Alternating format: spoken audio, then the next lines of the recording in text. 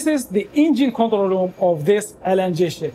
In this engine room, you will not see huge diesel engines, but you will see two huge boilers producing superheated steam for propulsion. In order to produce steam, we need three things. Water, fuel oil, and air. In this video, we see the engine room deck by deck. We see all the equipment related to propulsion and all the other auxiliary equipment to help with the ship's operation.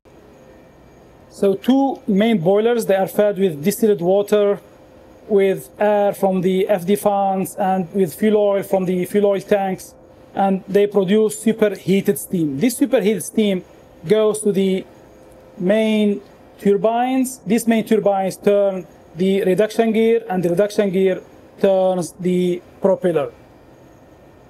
And then the superheated steam goes back to the main condenser, and it becomes again water and goes back to the full cycle of the boilers. Okay, enough theory now, let's go outside.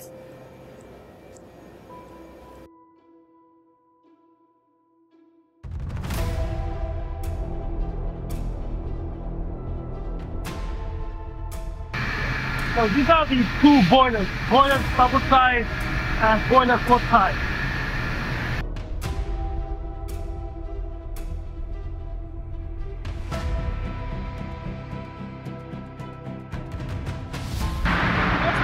This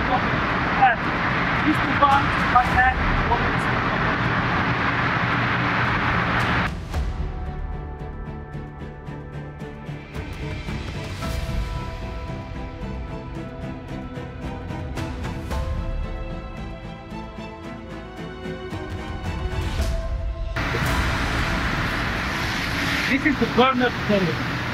Three burners for starboard boiler and three burners for port boiler.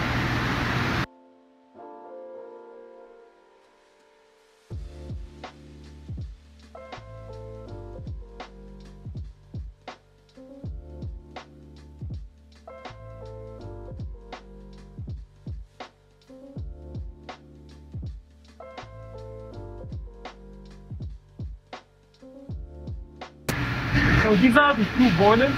Behind this wall, we have the combustion chamber. I will offer for you this sighting glass to see what's happening inside.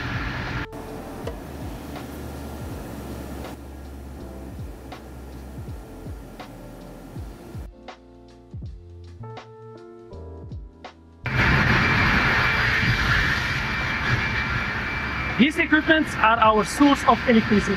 Two turbo generators and one diesel engine.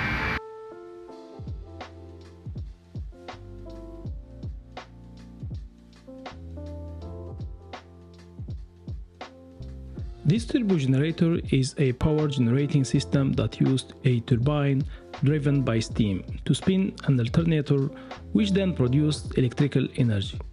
This electricity is used to power the ship's other electrical systems.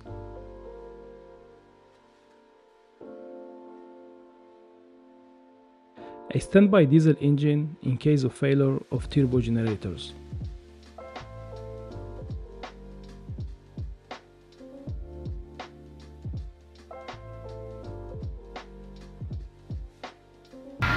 pumps. These feed pumps supply water to boiler to create steam and they are run on steam as well. You have one feed pump running, one feed pump standby, and another electric feed pump which is standby as well.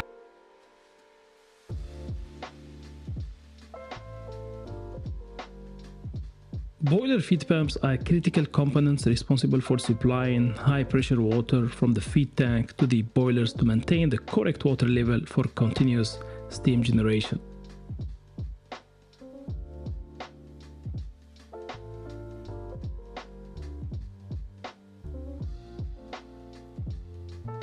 Second item for our propulsion is water. It is produced in these two plants. You may check out this detailed video to see how we produce fresh water from seawater on board ships.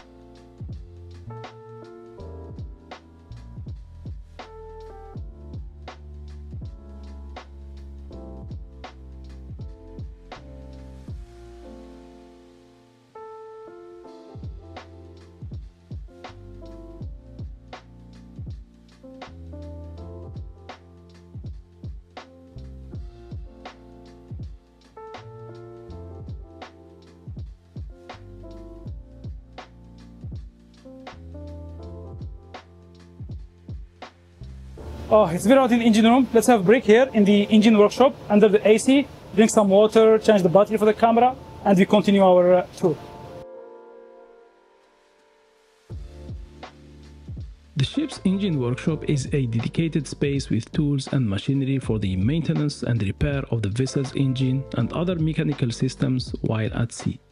It is equipped with lathe, grinding and cutting machines, a welding station with a plasma cutter and various hand tools.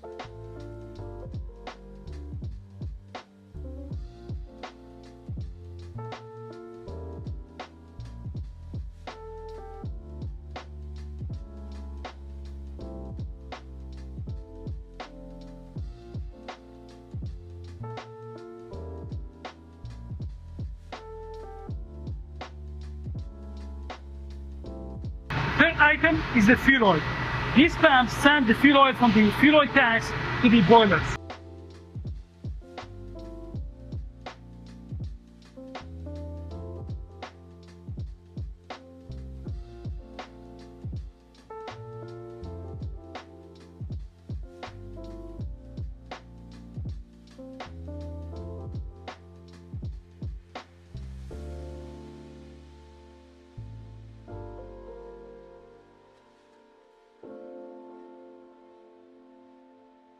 Below the we have the main condenser. Main condenser take the remaining steam from condensing to water and send it back to feed plant and feed plants send it to the boilers to create steam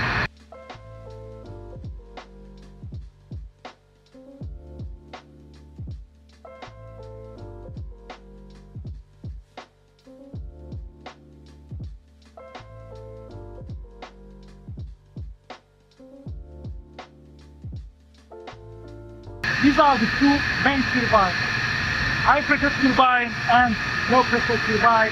These turbines they run at very high speed to turn the reduction gear, and the reduction gear will turn the shaft which turns the propeller.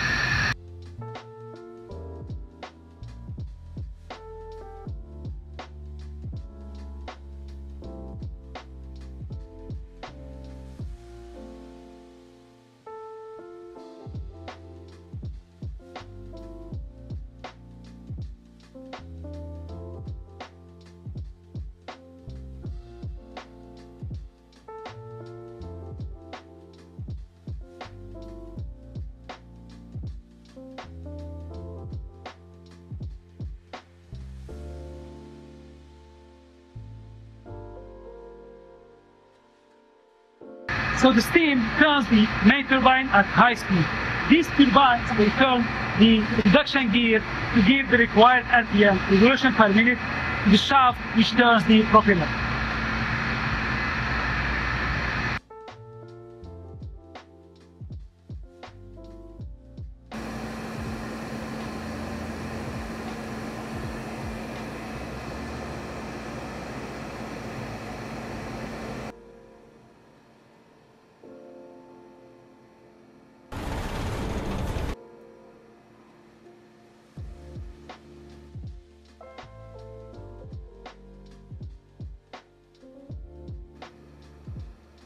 Behind this bulkhead, we have the staircase, which is an area feeding pressurized oil to avoid any water coming in in case of any leak.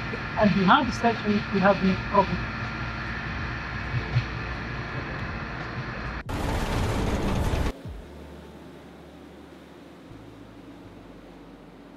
If you want to see how this should turn all the associated equipment, you check out this video. Thanks for watching and see you next time.